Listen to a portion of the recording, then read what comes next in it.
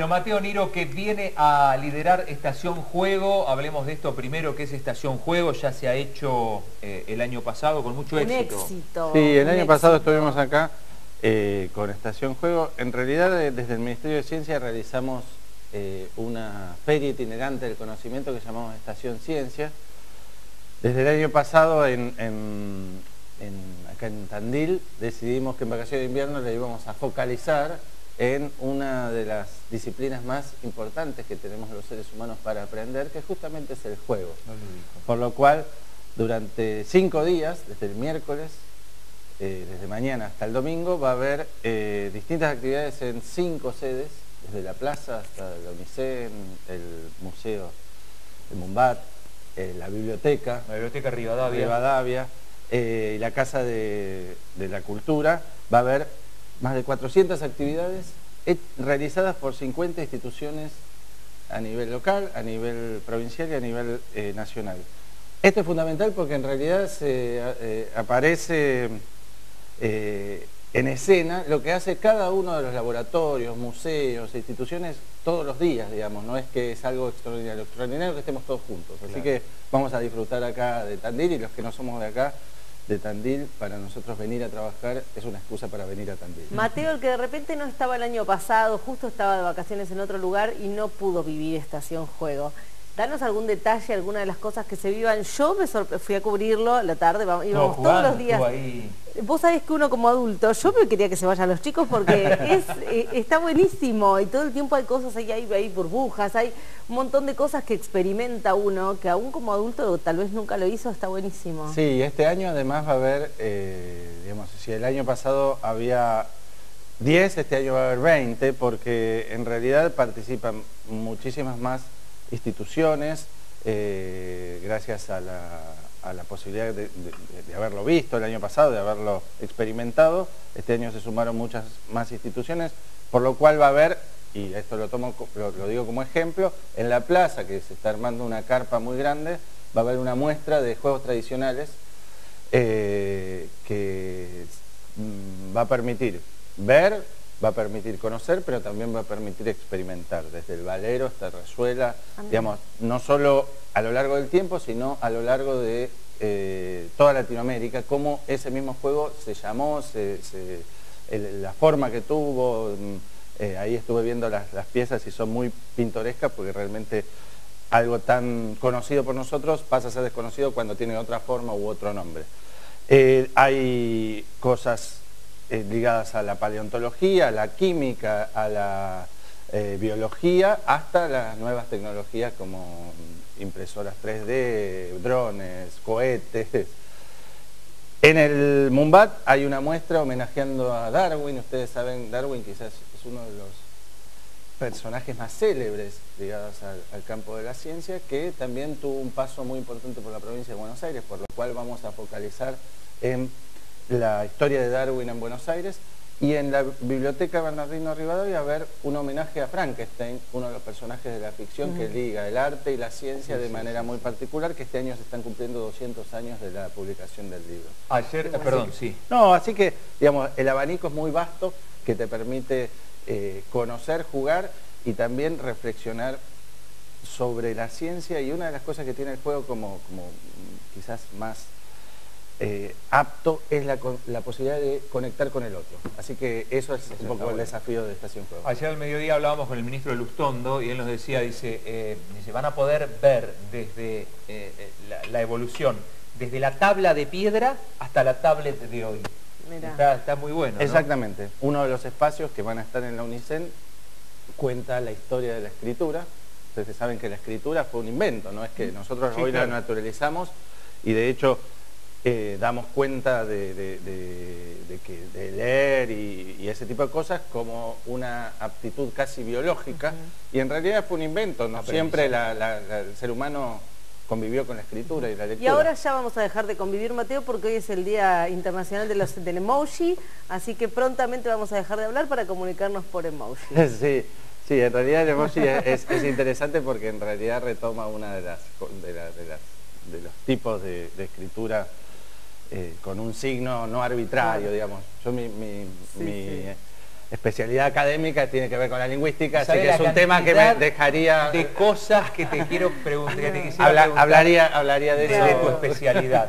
Sí. Si tenemos un ratito, por ahí lo, lo hacemos sobre el final, porque tengo varias cosas para preguntarte. Sí, pero Bien. bueno, hablando de esto, no, porque teníamos un mensaje hoy por este día, por esta efeméride, que decía cómo estamos retrocediendo y estamos volviendo al jeroglífico, decía una persona, ¿no? Entonces, Sí, bueno. lo que tiene eh, la- la- el emoji, digamos, a diferencia del, del signo lingüístico que conocemos, o que también conocemos, es el carácter, un- una palabra que es muy clave en eso, de arbitrariedad. Es decir, la, palabra casa no tiene nada que ver con el objeto casa, esto sería. Sin embargo, Sí, el emoji sí. con la sonrisa, representa felicidad y qué sé yo, sí tiene algo que ver con la sonrisa y la felicidad. Claro, explica por qué la, la palabra casa no tiene nada que ver con, con la casa, eh, porque pues, sería por ahí, si no tuviste un poquito de lingüística eh, y semiótica, eh, lo- eh, digamos, los signos que significan algo para alguien. No, pero en realidad es muy fácil darse cuenta en eso al, al- al conocer las distintas eh, palabras que significan casa según los idiomas. Claro. Si vos pensás cómo se dice en inglés o en, ruso, eh, digamos, la, la palabra casa, te das cuenta que son muchas maneras muy distintas y sin embargo significan lo mismo. significan lo mismo. Si yo tengo mi perro, ¿sí? Y lo llevo a, a Estados Unidos, mi mismo perro, le van a decir, lo van a llamar con otra palabra, no le van a llamar perro. Y es el mismo perro. Por lo cual, eso habla de la arbitrariedad del signo lingüístico. El emoji no, no tiene eso. No tiene eso. Bien. O sea, no tiene significado y significante, no se puede separar. Sí, lo que no tiene es la arbitrariedad. Es decir, Claro. la- la- el signo lingüístico El es arbitrario la relación entre el significado, que es el concepto, lo que sí, Claro. y la manera de nombrarlo. Con el emoji no. Claro. Señores, Mateo Niro, profesor además eh, en el área de letras, después vamos a ver si tenemos tiempo de preguntarle algunas otras cosas. Eh, tenemos que hacer la pausa, no por una cuestión de tiempo, Mateo, sino porque llegaron las medialunas. Ah, bueno. Sí, Ah, ahora sí. bueno. Porque te iba a preguntar algo más, pero digo, no, a- vamos a, Vamos a lo darle un tiempito, Claro. sí. Y después seguimos charlando con Mateo Niro, eh, que está aquí compartiendo el desayuno, que es eh, subsecretario de Gestión y Difusión del Conocimiento del Ministerio de Ciencia, Tecnología e Innovación de la provincia.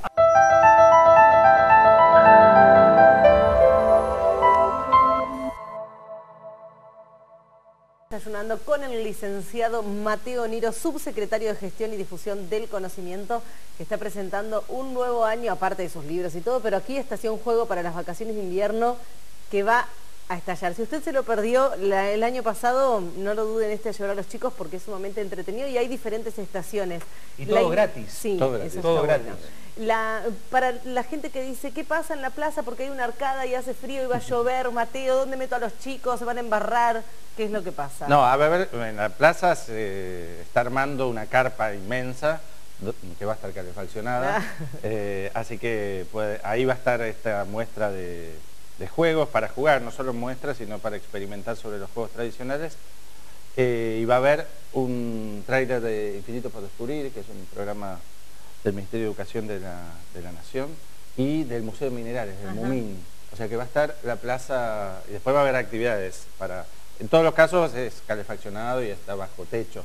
Y después en el, en el Teatro del Fuerte, el día sábado, a las 18 va a haber un espectáculo de Caufequín muy precioso, muy grande, muy lindo, también con anteojos 3D y qué sé yo. Y todo es, es gratuito. Ojalá que el año pasado hubo muchas personas, de hecho, que lo, que lo comentaron, que vinieron y qué sé yo. Pero calculamos que este año mm, va a haber más gente porque va a haber más actividades, hay más sedes, va a ser que estamos muy entusiasmados. Eh, Bueno. Los chicos que estaban el año pasado en el Centro Cultural Universitario, tirados en el piso, porque hay alfombras, hay números, y cada puesto, que está buenísimo, cada estación, tiene una- un coordinador, digamos, una persona que se ocupe. No es que los chicos estén así al libre albedrío haciendo, se le explica Totalmente. y se los hace jugar y hay una persona responsable de ese espacio. Que está buenísimo. Los padres no los podían sacar, Mateo. Era una lucha para que los chicos se vayan porque la verdad que es muy entretenida. Muy divertido. Sí, ahí lo que está interesante también que ellos, los coordinadores, los mediadores, eh, que están distribuidos en las distintas sedes, son tandinenses también, son estudiantes de la UNICEN, así que ellos son también los que promueven que cada una de las actividades suceda y, la, y que los chicos estén cuidados y estén bien. Qué bueno. Eh, Mateo, vamos a los datos prácticos. ¿Cuándo comienza? Horarios, recordamos que esto es gratuito. Y si hay algún lugar donde se pueda ver todo el programa de Estación Juegos en Tandil. Sí, em, esto empieza mañana, miércoles, a las 14 horas, es la inauguración oficial. Eh, la inauguración va a ser en la plaza y en, la, en este pórtico que está sobre la calle Pinto. Ya está lindísimo. Y eh, ahí va, a ser la inauguración oficial y a partir de las 14 y hasta las 19, el miércoles, el jueves y el viernes, se puede visitar en estas cinco sedes. Bien. Eh, la plaza, la Unicen, el Mumbat, la Casa de la Cultura y la Biblioteca eh, Rivadavia. El sábado y el domingo es de 14 a 20, es una hora más. Y esto se incluye ahí también las actividades que se hacen en el Teatro del Fuerte y en el espacio Inca de la Unicen, que queda ahí en el primer piso del Centro Cultural. Insisto con que todas las actividades son gratuitas. Hay algunas actividades que tienen una capacidad eh, limitada, pero bueno, siempre se van a dar invitaciones y creo que vamos a estar también eh, bien para que si hay más personas de lo que se pueda pueda eh, estar en ese espacio, poder tener actividades alternativas que también las puedan cobijar. Bien, o sea que tienen todo pensado. todo pensado. Estamos contentos, estamos contentos de estar acá en Tandil. Bueno, Mateo, otra cosa que también eh, es muy interesante es el libro que presentaron nuevamente con Facundo Manes. Que acá tuvo la el cerebro del futuro cambiará la vida moderna, nuestra esencia, dice, y es la pregunta que nos hacemos todos. ¿Cambia, Mateo, cambia la vida moderna? Yo mm, creo que no, o sea, no, la esencia, pero sí cambia las prácticas eh, en un sentido, digamos, hoy tenemos la posibilidad de vivir mucho más y, mejor que hace algún tiempo y algunos siglos. Muchas veces, tengo 46 años, recuerdo cuando empecé la facultad, mis primeros trabajos habían sido, los, hice con máquina de escribir, digamos, y hoy pensar que, que pensarnos la vida sin computadora, eh, sin la posibilidad de internet y qué sé yo, yo estudiaba en la Biblioteca del Congreso de la Nación, vivo en Buenos Aires, iba a la noche y para pedir un libro, para pedir un documento había que... Por supuesto que esas cosas cambiaron drásticamente, pero hay una cosa que no cambia, y por suerte que no cambia, que es la posibilidad de hablar frente a frente, uno piense que si uno tiene que decir algo importante y tiene la posibilidad, uno le dice al otro, bueno, pero esto lo tenemos que charlar, tomémonos un café. Si existe Skype, existe el celular. todas las edades, Mateo? Sí, digamos, y, estoy convencidísimo que sí.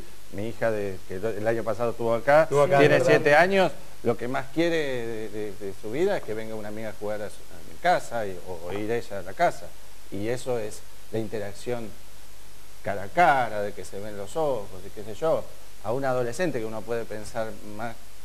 Creo que por ese lado venía la pregunta de Paola y adhiero la pregunta. No, está bien, pero yo tengo una hija adolescente también y la tengo que ir a buscar a las 6 de la mañana donde se juntaron con sus amigos. Insisto, por supuesto que existe cierta convivencia con la tecnología, pero también existe esa relación social cara a cara que es inmodificable. Ahora, Mateo, te vamos a preguntar sobre el lenguaje inclusivo, que es algo que tenemos acá muchas dudas al respecto. Pero una pregunta interesante del libro que me gustaría saber, ¿somos o nos hacemos los felices? ¿Somos o nos hacemos los felices? Esa pregunta está en el libro. Sí, además sobre todo por esta cuestión, no sé a qué va específicamente este índice, pero todo lo que uno demuestra también con la tecnología, ¿no? El, simular la felicidad, que todo es felicidad y después la vida real no es lo que o el mostrar solo una parte de la vida, ¿no? Que tiene que ver con eso. Sí, hay, una, hay algo mm, con respecto a mostrar solo una parte que tiene que ver eh, específicamente con redes sociales, ¿no? Que tenés la posibilidad de exhibir mucho más y de manera más, más amplia que lo que teníamos hace 30 años, ¿no? Hace 100, digamos, 30 años, que era una posibilidad mucho más eh, breve, que era a sus vecinos, a tus compañeros, o a través del, correo postal, que era más engorroso. Sin embargo, uno normalmente hace eso, demostrar, según demostrar la, mejor cara, lo que sucede con las redes sociales que se amplificó, digamos.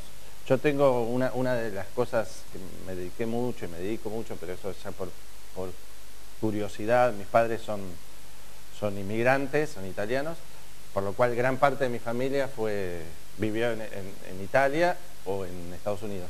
Entonces yo de chico convivía mucho con la carta, carta en papel, carta postal. Carta postal. Y me dediqué después ya más de, grande a, guardarlas, que no solo de mi familia, sino de otros antes que las tiren.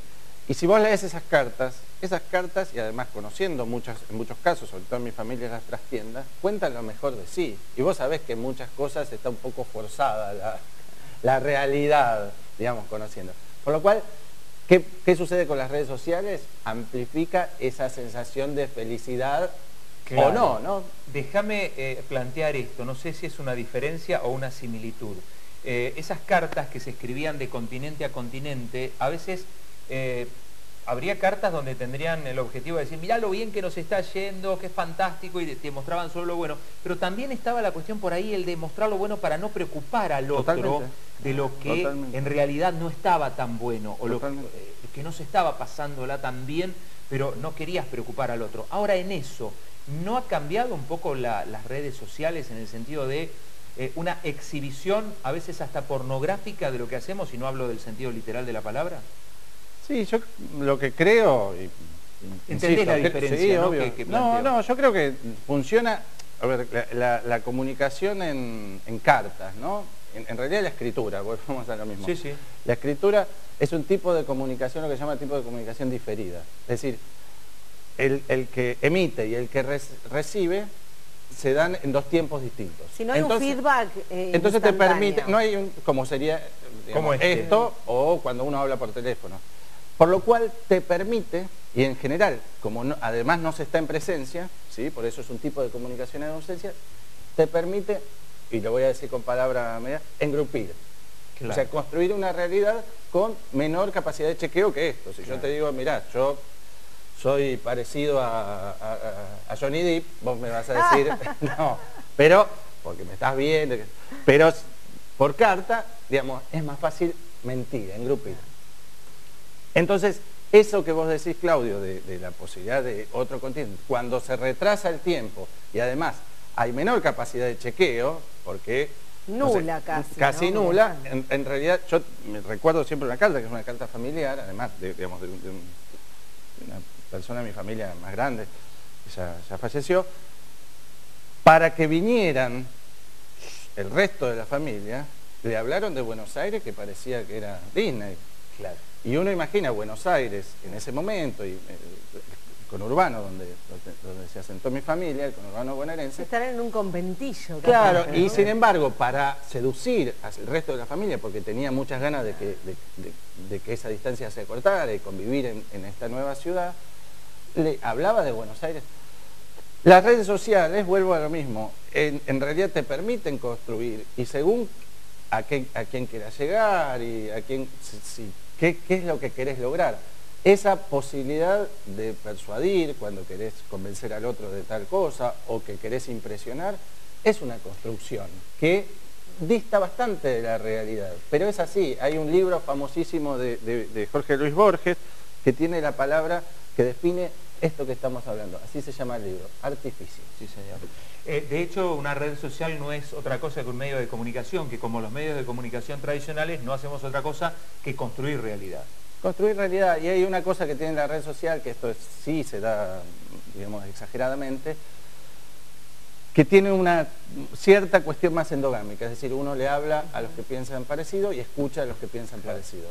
y cuando no se te arma una...